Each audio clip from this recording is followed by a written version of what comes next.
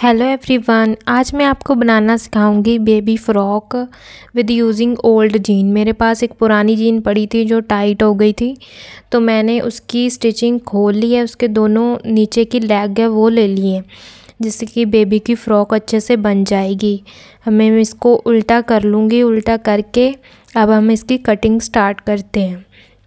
सबसे पहले हम इस, इसको इक्वल इनके दोनों पल्लों को रख के इसको फ़ोर फोल्ड कर लेंगे। अच्छे से फ़ोर फोल्ड करने के बाद अब इंची टेप लेके मैं पाँच का इसका तीरा जो है वो लूँगी, क्योंकि छोटे बच्चे की बना रहे हैं अराउंड आठ से नौ साल के बच्चे की। तो पाँच का ही हम इसका शोल्डर है, वो लेंगे। शोल्डर पे निशानी लगाने के बाद हम इसकी अच्छे से गुलाई कर लेंगे। अराउंड एक इंच लेके हम इसको गोल बना लेंगे और जो मैं गले की लेंथ लूँगी वो मैं लूँगी ढाई इंच हम नॉर्मली तीन लेते हैं, बड़े की हम, बच्चे की लेंगे ढाई. इसको भी हम सर्कल में ड्रा करके अब इसकी हम करेंगे कटिंग सबसे पहले शोल्डर है, उसको कट कर लेंगे. ये थोड़ा मोटा होता है तो आप डोल, दो लेयर भी कट कर सकते हो, अगर चार एक साथ नहीं हो रहा। अगर चारों हो रहा है तो वेल एंड गुड है। अब हम गले की भी ऐसे ही सेम कटाई है जो वो कर लेंगे। ऑलमोस्ट जो फ्रॉक है हमारी रेडी है, मैंने ज़्यादा ज़्यादा इसमें कुछ और नहीं करना है। तो अब ये ये कटिंग हो चुकी है। हम जो इसकी सिलाई के लिए भी मैंने थोड़ा ही, क्योंकि कपड़ा थोड़ा था, इसीलिए मैंने थोड़ा ही छोड़ा है। अराउंड हाफ़ और वन इंच की मैं जो सिलाई है, इसमें लगाऊँगी। अब मैंने इसको खोल के देखा तो मुझे थोड़ा जो गला है उसका, वो थोड़ा सही नहीं लग रहा था। तो मैंने सोचा कि इसकी थोड़ी सी और कटिंग कर देती हूँ। तो इसीलिए मैंने थोड़ी सी गले की गुलाई बनाने के लिए इसको सीधा करके गले की थोड़ी सी कटिंग कर दी है। जिससे कि गला है जो बहुत ही अच्छा लगेगा, नहीं तो वैसे वो थोड़ा सा टेढ़ा बन रहा था। अब मैं इसके जो ऊपर से शोल्डर्स हैं, उसको सिलाई लगा लूँगी। ये अटैच करने के बाद कुछ ऐसे दिखाई देंगे। अब जो साइड के बाजू है, उनको भी सिलाई लगा लूँगी क्योंकि मैंने इसमें स्लीव्स नहीं लगानी है स्लीवलेस ही रखना है। तो इसीलिए मैंने इसकी स्लीव्स में सिलाई लगा ली है कॉर्नर पे।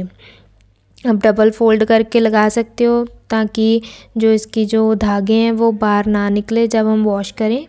तो अब मैं क्या करूँगी, जो इसका गला है, उसकी गोलाई से इसको डबल फ़ोल्ड कर लूँगी। अगर आपने एक्स्ट्रा से लगाना है इसमें कपड़ा तो आप लगा सकते हो। मैंने ऐसे ही फ़ोल्ड कर लिया, क्योंकि छोटे बच्चे का है, छोटा सा गला है तो ये ऐसे ही अच्छा लग रहा है।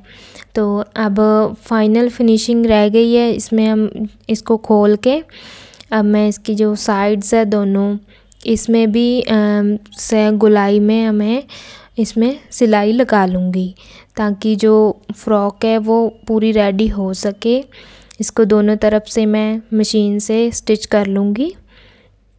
स्टिच करने के बाद हमें इसको सीधा कर लूँगी, जिससे कि ये कुछ इस तरह से दिखाई देगी। अब इसको अच्छे से इसकी जो सिलाई है, ये जीन जीन का कपड़ा है तो इसीलिए थोड़ी सी ये सख्त कपड़ा है। इसको हम अच्छे से एडजस्ट कर लेंगे खींच के। तो जिससे कि फिनिशिंग है, बहुत अच्छी आएगी जब हम इसको प्रेस कर लेंगे तो ये और भी अच्छा हो जाएगा कपड़ा। ये देखो, कुछ ऐसा लुक आ रहा है। मुझे थोड़ा सिंपल लग रहा था। तो मैंने जो जीन का जो कॉर्नर है कॉर्नर कट किया था, जो सिलाई लगी होती है हार्ड कॉर्नर होता है तो इससे मैं थोड़ी सी डिज़ाइनिंग करूँगी नेक पे। तो मैं इसको एक एक करके नेक पे शिफ्ट करूँगी। नेक पे लगा रही हूँ अभी ऐसे सर्कल जैसे जैसे गला है वैसे वैसे इनको शिफ्ट कर दूँगी मैं, जिससे कि थोड़ा अट्रैक्टिव लुक लगेगा, थोड़ी सिंपल नहीं लगेगी फ़्रॉक तो इसीलिए मैंने ये लगाया। अब इस, इनको मैं सिलाई करके, अब मुझे अब भी थोड़ा सिंपल लग रहा था तो मैंने जो कुछ कॉर्नर्स है, वो बचे हुए थे तो मैंने नीचे भी अटैच करने चाहे। ये मैंने कुछ फ्लावर वाली लेस ली है तो ये फ्लावर्स भी मैं कट करके एक एक जो मैंने ऊपर कॉर्नर्स लगाए हैं, उन पे एडजस्ट कर दूँगी, जिससे कि फिनिशिंग आएगी। बहुत ही अच्छी जो फ्रॉक है, हमारी अट्रैक्टिव लगेगी। देखो फ्लावर्स रखते सारी, ये कितनी अच्छी और अट्रैक्टिव लग रही है। सभी एक एक करके फ्लावर्स को मैं कट करके इनको लगा लूँगी। इनको आप चाहो तो ग्लू गन से भी लगा सकते हो चाहो तो आप सिलाई भी कर सकते हो। मैंने इनको सिलाई करके लगाया है। ऐसे नीचे मैं डिज़ाइनिंग बना लूँगी सेम आ, मेरे पास चार बचे थे कटिंग तो चारों के चारों मैंने यूज़ कर लिए मैंने सोचा क्यों फेंकने? तो मैंने चारों ही लगा दिए और नीचे चार उनके फ्लावर्स भी लगा दिए इनके फाइनल लुक है। बहुत ही अच्छा आ रहा है। ऐसा लग रहा है जैसे हमने रेडीमेड फ़्रॉक ली है। कोई कह ही नहीं सकता कि पुरानी जीन से बनाई है। ये देखो, कितना अच्छा लग रहा है। आपका बच्चा भी है जो वो बहुत खुश हो जाएगा। अगर वीडियो अच्छी लगी हो तो शेयर ज़रूर करना और आप भी बना के देखना। Okay friends bye bye thank you